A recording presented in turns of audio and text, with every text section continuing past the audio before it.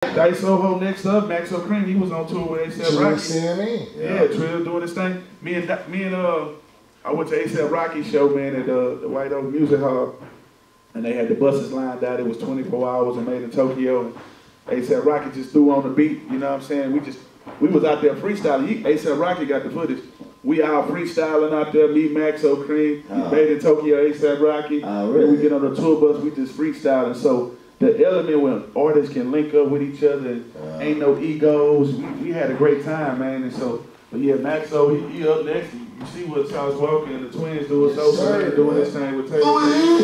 Oh, Um, B King, you know, me and B King, we got a new single called yeah. Good God. Uh, you, you know, Kirko still doing his thing. Everybody doing their thing. So the dope, the dope thing about Houston, man, is everybody collaborate.